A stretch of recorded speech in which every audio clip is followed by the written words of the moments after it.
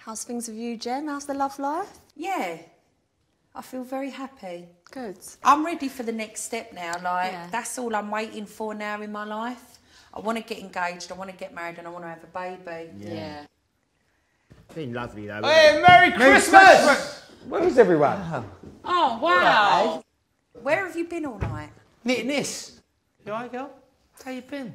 Are you drunk? Well, it is Christmas. We do drink. What is wrong with you?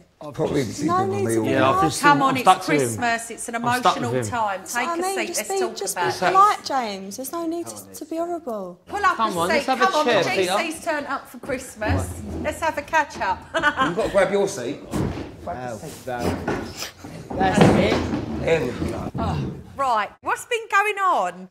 Not a lot, really. I'm single now. So without being the one to kind of make it awkward turtle, but let's just have it right. Where we at now? Because I need to keep up. Now, as outsiders, you tell me what you think. It's weird that you talk still, and it's not helping anyone. It's not helping you, and it ain't helping you. Look at you both. And it ain't helping us because we have to listen to it. Can I be honest, yeah? I feel like I've been very immature. I've done things out of out of spite.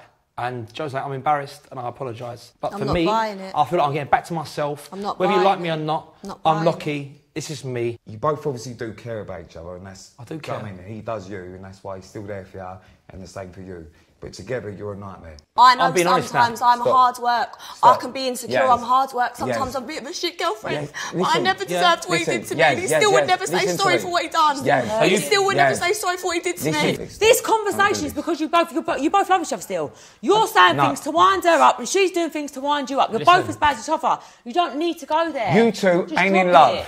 It's an it. obsession. That's what we're saying. Because he don't want you to be with anyone else, It's and you don't want him to be with anyone else. You've been with people, But- so done now. Listen, stop. But you went with someone Stop. else. Are you Do know- mad? We're Yes. together. Yeah, Yes, please. Ian. This is why. That's stop. good. Let it all out. We've got to talk why about this. Oh, You completely. both I got need to move on. for. Yes, I like you as a person. But I didn't ring him all week. He rang me, told me to change my fucking Yes, lock. I left him I- alone. Yes, but I've been there when you've been calling him as well. You're Look. as bad as each other. I'm not blaming Okay. you. You're as bad as each But other. I've said that though. You, I've I said it's both of us.